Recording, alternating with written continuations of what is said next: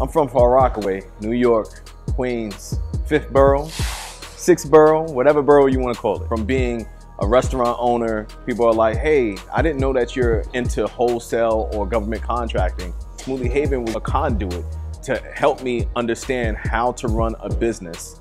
Something that I wasn't trained in college to do. It was more book work. In late 2018, we started to pursue government contracting and I started to see the development in a lot of the kids that I had for years working with me and I seen a shift in their skill set and other business owners why they weren't giving them opportunities. So I want to kind of discover a new path for them to see how we can kind of, you know, match what the current situation of the world is going to.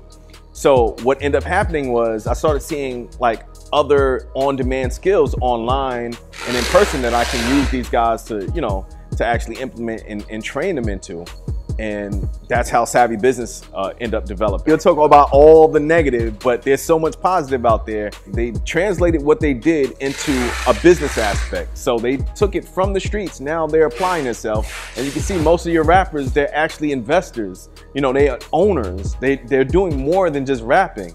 My name is Andrew Joseph. Shuviani Torcel. Christopher. Dominic. My name is Nigel.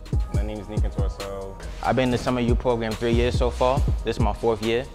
My overall experience with this program was pretty successful. I've been working here for a few years now.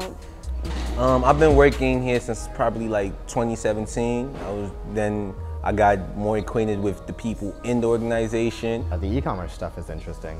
It definitely is, and it's a lot more fun than I expected. Time I learned about e-commerce, drop shipping, cash cow videos, YouTube automation. Definitely, if I have enough uh, time during college, I feel like I would love to do this in October. Yeah, I feel like I'm definitely going to be able to translate into whatever I needed to use it for.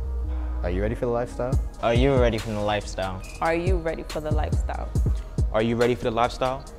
Are you ready for the lifestyle? I am.